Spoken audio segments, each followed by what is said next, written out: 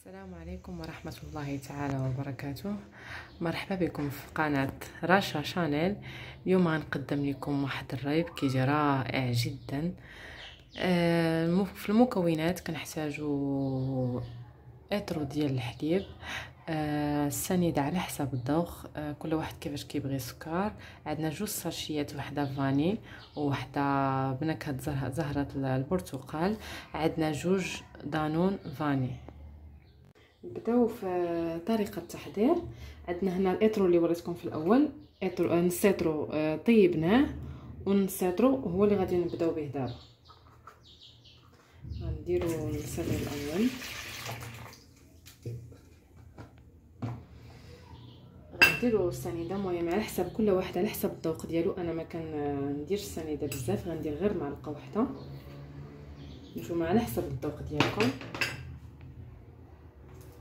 فاني ما غاديش نديرها كاملة حتى هي كندير غير النص. كندير غير تقريبا شوية ما كنكثرش بزاف. والسكر بنكهه البرتقال هذا هو اللي كيخلي هذا الريب يجي رائع كيجي فيه بحال مذاق المهلبية. حتى هو ما كنكثرش بزاف كندير غير شوية.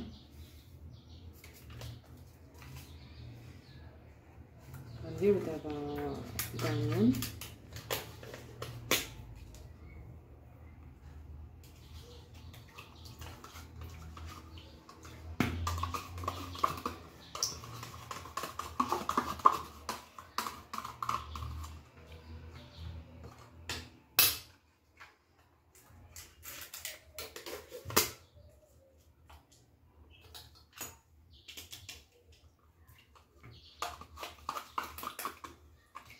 هذاك الماء اللي كيكون في دانون الفوق ضروري تخليوه ما تحيدوش حتى هو كيساعد هذا الريب باش يتماسك ويشد في راسو.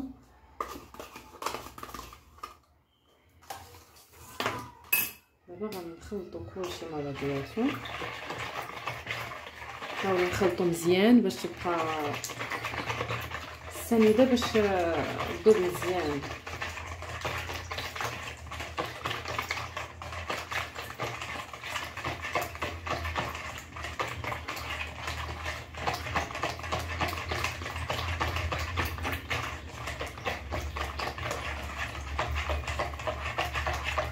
تاكدوا مزيان أن السنيده دابت باش ما تبقاش محبة لينا. هذاك السطرو اللي طيبنا كنتاكدوا أنه برد مزيان كنخشيو فيه يدينا وحتى ما يحرقناش. من بعد كنبداو نزيدو فيه بشوية وكنا كنحركو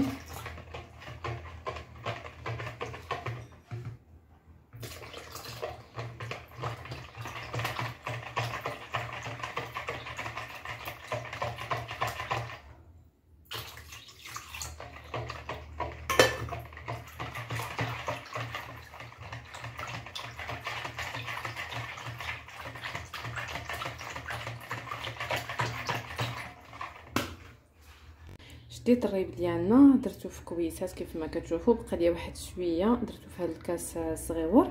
دابا غادي ندير عليه الماء طيب غندير الماء طيب بحال هكذا كيف ما كتشوفوا تقريبا حتى يوصل لنص ديال الكاس. يكون طيب مزيان.